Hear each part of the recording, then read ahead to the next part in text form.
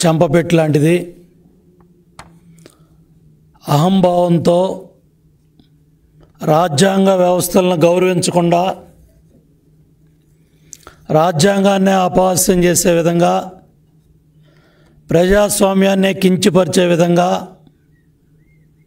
ముఖ్యమంత్రి జగన్మోహన్ రెడ్డి గారు మొన్న స్టేట్ ఎలక్షన్ కమిషన్కి కులాలు ఆపాదించటం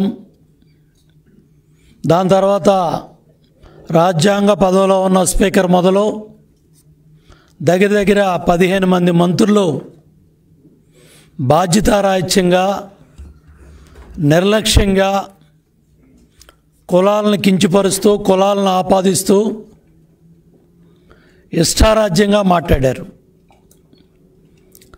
సుప్రీంకోర్టు తీర్పు ఈరోజు మీకు చెంపపెట్టులా వచ్చింది కాబట్టి మీరు మాట్లాడిన మాటలు వెనక్కి తీసుకొని రాష్ట్ర ప్రజలకు బహిరంగ క్షమాపణ చెప్తారా? ఈరోజు కూడా ఉదయం పంచాయతీరాజ్ శాఖ మంత్రి మరి ఎలక్షన్ కమిషన్ దుర్భాషలాడుతూ ఎవరో దమ్మాలపాటి శ్రీనివాస్ రాసిస్తే చదువుతున్నారని ఈరోజు కూడా బాధ్యతారాహిత్యంగా మంత్రులు మాట్లాడుతూ ఉన్నారు. అసలు ఈ రాష్ట్రానికి హెల్త్ మినిస్టర్ ఉన్నారా? పక్క రాష్ట్రంలో ప్రతిరోజు కూడా అక్కడ సంబంధిత మంత్రులు మాట్లాడుతూ ఉన్నారు. విదేశాల నుంచి ఎంతమంది వచ్చారు? ఎవరెవరిని ఎక్కడ పెట్టాం? ఎన్ని పాజిటివ్ కేసులు వచ్చాయి? ఎన్ని నెగిటివ్ కేసులు అన్నీ కూడా పక్క రాష్ట్రాలు బులెటిన్లు విడుదల చేస్తూ ఉన్నారు చెప్తా ఉన్నారు. మొన్నే అధికారులు అన్నారు రాష్ట్ర సెక్రటేరియట్లో ముఖ్యమంత్రి ఓఎస్డి రిటైర్ అయిన ఒక అధికారి ముఖ్యమంత్రి కార్యాలయ ఓఎస్డి ఆయన రివ్యూ చేస్తూ ఉన్నాడు. రాష్ట్రంలో అధికారులని జిల్లా కలెక్టర్లని ఇరవై ఐదు మంత్రులు ఐదుగురు డిప్యూటీ ముఖ్యమంత్రులు ఒక రాష్ట్ర ముఖ్యమంత్రి ఎవరికి బాధ్యత లేదా? కరోనా లాంటి సబ్జెక్ట్ని ఇవాళ కరోనా వైరస్ లాంటి ప్రాధాన్యత గల ప్రపంచాన్ని దేశాన్ని వణికిస్తూ ఉంటే రాష్ట్ర ముఖ్యమంత్రి రివ్యూ చేయలే. హెల్త్ మంత్రి విద్య ఎవరైతే ఆరోగ్య శాఖ మంత్రి ఉన్నారో ఆయన రివ్యూ చేయలే. ముఖ్యమంత్రి ఓఎస్డి రివ్యూ చేశాడంటే ఐదు కోట్ల ప్రజల ఆరోగ్యం పట్ల ఎంత నిర్లక్ష్యంగా వ్యవహరిస్తూ ఉన్నారు? ఎంత బాధ్యతారాహిత్యంగా వ్యవహరిస్తూ ఉన్నారు? విశాఖపట్నానికి రెండు వందల యాభై మంది పిల్లలు బయట దేశాల నుంచి వస్తూ ఉన్నారు. ఎవరు విజయసాయిరెడ్డిని పంపిస్తూ ఉన్నారా? ఎయిర్పోర్ట్కి? మూడు జిల్లాల ఇన్ఛార్జి.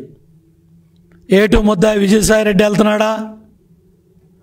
ఆ జిల్లా మంత్రి అవంతి శ్రీనివాస్ బాధ్యత తీసుకుంటున్నాడా? లేదు హెల్త్ మినిస్టర్ బాధ్యత తీసుకుంటున్నాడా? లేదా ముఖ్యమంత్రి గారు వెళ్తా ఉన్నారా? ప్రజలకి ఏం ధైర్యం ఇవ్వబోతా ఉన్నారు? ఏం జాగ్రత్తలు తీసుకుంటున్నారు? బయట దేశ విదేశాల్లో బయట ప్రాంతాల్లో వేలాది మంది పిల్లలు చదువుకుంటూ ఉన్న పిల్లలు వాళ్ళ తల్లిదండ్రులు ఆందోళన చెందుతూ ఉంటే ముఖ్యమంత్రికి బాధ్యత లేదా?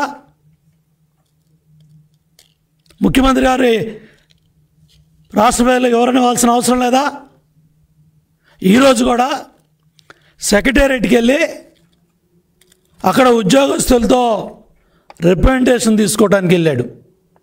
విశాఖపట్నం మే ముప్పై ఒకటికల్లా మమ్మల్ని తీసుకెళ్ళండి. మీకు సంబంధించిన నాయకులను అధ్యక్షులుగా పెట్టుకొని మే ముప్పై ఒకటి కల్లా విశాఖపట్నం తరలివెళ్ళాలి. మాకు విశాఖపట్నంలో ఇల్లు చూసారా స్థలం చూసారా పిల్లలకి సీట్లు చూసారా అని ముఖ్యమంత్రి గారు రిప్రజెంటేషన్లు ఇప్పిస్తూ ఉన్నాడంటే ఎంత దుర్మార్గం అండి. ఈరోజు దగ్గర దగ్గర తొంభై మూడో రోజు వెళ్తూ ఉంది. యాభై మూడు మంది రైతులు చనిపోయారు. ఇవాళ కూడా వందలాది మంది మహిళలు దీక్షలో ఉన్నారు అక్కడ. ఏ మాత్రం కూడా పట్టించుకోకుండా ఈరోజు కూడా పరదాలు కట్టించుకొని రెండు వేల మంది పోలీసుల్ని కాపలా పెట్టుకొని ముఖ్యమంత్రి గారు సెక్రటేరియట్కి వెళ్ళి విశాఖపట్నం తరలివెళ్ళటానికి ఆలోచనలు చేస్తూ ఉన్నాడంటే ఎంత దుర్మార్గం. ఈ దేశంలో చాలా రాష్ట్రాలు మెజార్టీ రాష్ట్రాలు అన్ని రాష్ట్రాల్లో కూడా మొత్తం అక్కడ కార్యక్రమాలన్నీ కూడా పక్కన పెట్టి స్కూల్స్ కాలేజెస్ అన్నీ కూడా బంద్ చేసి సెకండ్ స్టేజ్లో ఉన్న కరోనా మూడో స్టేజ్లోకి వెళ్ళకూడదు సమూహాల్లోకి వెళ్ళకూడదు గ్రూపుల్లోకి వెళ్ళకూడదు. ఎక్కడ ఐదు మంది పది మంది కలిసి ఉండే పరిస్థితి రాకూడదని రాష్ట్ర ప్రభుత్వాలు యంత్రాంగాలు పరిగెడతా ఉంటే తాడేపల్లి రాజప్రసాదంలో పబ్జి గేమ్లు ఆడుకునే ముఖ్యమంత్రి విశాఖపట్నం తరలివెళ్ళటానికి ఈరోజు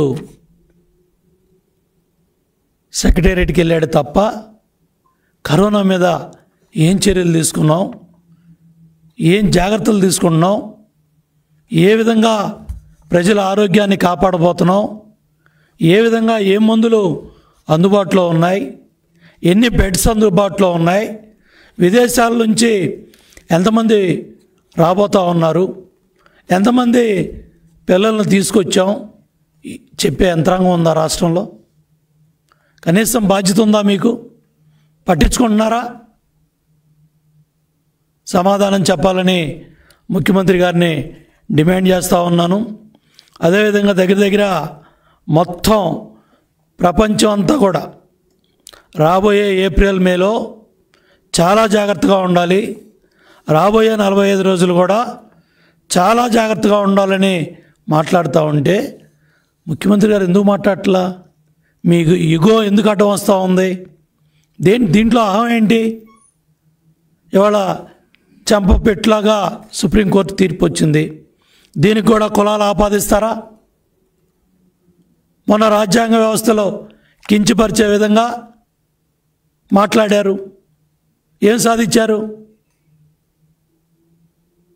మీ అసహనాన్ని మీ చేతకంతనాన్ని వ్యవస్థలను కుప్పకొల్చడం వల్ల మీరు సమాజానికి సమాధానం చెప్పుకోలేక ఈ విధంగా సామాజిక వర్గాలను కులాలను ఈ విధంగా బాధ్యతాయుత పదవుల్లో ఉన్న మంత్రులు కూడా బాధ్యతారాజ్యంగా మాట్లాడుతూ ఉన్నారు. ఒక్క జిల్లాలో ఒక్క మంత్రి అన్నా కరోనా మీద రివ్యూ చేశాడా? నేను ఛాలెంజ్ చేస్తా ఉన్నా రాష్ట్ర ప్రభుత్వాన్ని.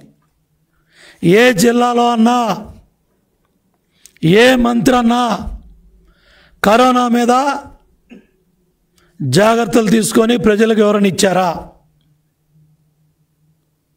నెల్లూరు జిల్లాలో కేసెస్ వచ్చాయి.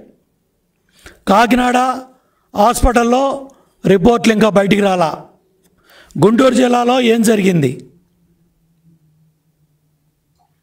పదమూడు జిల్లాల్లో ఏ జిల్లాలో ఏ మంత్రి అయినా సరే జిల్లా యంత్రాంగాన్ని బాధ్యత కూర్చోబెట్టి మీరు ఎక్కడన్నా చర్యలు తీసుకున్నారా? ఎవరన్నా మాట్లాడారా? అసలు ఎవరు ఈ రాష్ట్రానికి హెల్త్ మినిస్టర్ ఎవరో? హెల్త్ మినిస్టర్ ఉంటే ఈరోజు మీడియా ముందుకు రావాలి. లేకపోతే చేత కాకపోతే తప్పుకోండి. ఇంకో బాధ్యత గల మంత్రిని పెట్టండి. తిట్టగా తిట్టగా తిట్టగా జగన్మోహన్ రెడ్డి గారు పది నెలలకి మీడియా ముందుకు వచ్చారు మీడియా ముందుకు వచ్చి మీడియా మిత్రులు అడిగే ప్రశ్నలకు సమాధానం చెప్పలా. ఇక్కడ రవి ఉన్నాడు పుల్లయ్య ఉన్నాడు సీన్ ఉన్నాడు శ్రీధర్ ఉన్నాడు. అన్ని టీవీలకు సంబంధించిన వాళ్ళకి మేము సమాధానం చెబుతున్నాం. అడిగే ప్రశ్నకు సమాధానం చెబుతున్నాం. ఆ చావా సత్తా తెలుగుదేశం పార్టీ నాయకుల దగ్గర ఉంది. ఎందుకు జగన్మోహన్ రెడ్డి గారు మీడియా ముందుకు భయపడతా ఉన్నాడు? ప్రశ్నలు కూడా ఒక్క ప్రశ్న అడిగే అవకాశం ఇవ్వకుండా. ఆయన చెప్పదలుచుకుందా ఆయన తిట్టాలనుకుంది తిట్టెళ్ళాడు తప్ప. Paracetamol వాడమన్నాడు. Corona it it comes and it goes నిరంతర ప్రక్రియ. మరి నిరంతర ప్రక్రియ ఏంటో ఇట్ కమ్స్ ఏంటో ఇట్ గోస్ ఏంటో జగన్మోహన్ రెడ్డి గారు మాలాంటి వాళ్ళకి అర్థం కాలేదు. సామాన్యులకు అర్థం కాలా రాష్ట్ర ప్రజలకు అర్థం కాల బ్లీచింగ్ పౌడర్ కొట్టుకోమన్నావు. పారాసెటమాల్ వేసుకోమన్నావు. మరి ఎప్పుడు వేసుకోవాలి ఎక్కడ కొట్టుకోవాలో ఒకసారి రాష్ట్ర ప్రజలకి ఎవరైనా ఉన్న ముఖ్యమంత్రి గారు ఎందుకంటే సుప్రీంకోర్టు ఈ విధంగా తీర్పు వచ్చిన తర్వాత ఆరు వారాల తర్వాత మరి వాళ్ళ ఎందుకు మీడియా ముందు రావట్లా? ఎందుకు మాట్లాడట్లా? కరోనా గురించి ఎందుకు మాట్లాడట్లా? రండి వచ్చి మాట్లాడండి. ఏం జాగ్రత్తలు తీసుకున్నారు? ఏం చర్యలు తీసుకోబోతా ఉన్నారు? ఈ రాష్ట్రానికి ఒక హెల్త్ మినిస్టర్ ఉన్నాడని లేదా మేము ఈ చర్యలు తీసుకున్నామని ఈ జాగ్రత్తలు తీసుకున్నామని బయట దేశాల్లో ఎంతమంది మన తెలుగువారు ఉన్నారు? చదువుకుంటా ఉన్న పిల్లలు ఎంతమంది ఉన్నారు? ఇవాళ మీ పిల్లలు మా పిల్లలు తీసుకొచ్చి ఇళ్ళలో జాగ్రత్తగా పెట్టుకుంటే ఇది మనిద్దరి సమస్య కాదు. ఇది రాష్ట్ర సమస్య. రాష్ట్రంలో ఐదు కోట్ల ప్రజల సమస్య. అందరి పిల్లలను కూడా జాగ్రత్తగా ఉండే విధంగా రాష్ట్ర ప్రభుత్వ పరంగా మనం అన్ని చర్యలు తీసుకోవాలి. ఆ అవకాశాలు ఇవ్వాలి. అసలు ఏ దేశాల్లో ఎక్కడెక్కడ మన పిల్లలు చదువుతున్నారు? మీకు లెక్కలు ఉన్నాయా? చైనాలో నవంబర్లో ఇది బయటపడింది. మరి నవంబర్ నుంచి తీసుకుంటే ఈ రాష్ట్రంలో విదేశాల నుంచి ఎంతమంది వచ్చారు. మీ దగ్గర లెక్కలు ఉన్నాయా అసలు ఆ విధంగా యంత్రాంగం పట్టించుకుంటుందా? ఎవరికైనా బాధ్యత ఉందా? చీఫ్ సెక్రటరీ ఒక్కరోజున మీడియా ముందుకు వచ్చి కరోనా గురించి మాట్లాడిందా? Health secretary commissioner of health high level committee meeting ఏర్పాటు చేశారా? అసలు హై లెవెల్ కమిటీ మీటింగ్ ఉందా? అసలు హై లెవెల్ కమిటీ వేశారా? బుద్ధి జ్ఞానం ఉందా ప్రభుత్వానికి? ప్రభుత్వానికి బుద్ధి జ్ఞానం ఉంటే ఒక హై లెవెల్ కమిటీ వేశారా? ఆ కమిటీ సభ్యులు ఎవరో? మీడియా ముందుకు వచ్చారా? మీడియా అడిగే ప్రశ్నలకు సమాధానం చెప్తున్నారా? మీరు మాకు సమాధానం చెప్పరు? రాష్ట్ర ప్రజలకు చెప్పరు? మీడియాకి చెప్పరు. మరి వాళ్ళ ప్రజల్ని ఏ విధంగా కాపాడతారని చెప్పి నేను అడుగుతూ ఉన్నాను. కాబట్టి మరి పక్క రాష్ట్రాల్లో ఈ నెలాఖరు వరకు కాలేజెస్ కానీ స్కూల్స్ కానీ మాల్స్ కానీ మరి జిమ్స్ కానీ స్విమ్మింగ్ పూల్స్ కానీ మరి బా- బార్స్ రెస్టారెంట్స్ కానీ అన్నీ కూడా బంద్ పెట్టి స్టేజ్ త్రీలోకి వెళ్ళకుండా కట్టడి చేయాలని పక్క రాష్ట్రాలన్నీ కూడా మొత్తం బంద్ పెట్టాయి. పొద్దున్న లేస్తే విజయవాడకి హైదరాబాద్కి చాలామంది వెళ్ళొస్తూ ఉంటారు. చాలామంది ఇటు మెడ్రాసు బెంగళూరు వెళ్ళొస్తూ ఉంటారు. మీరేం చర్యలు తీసుకున్నారు?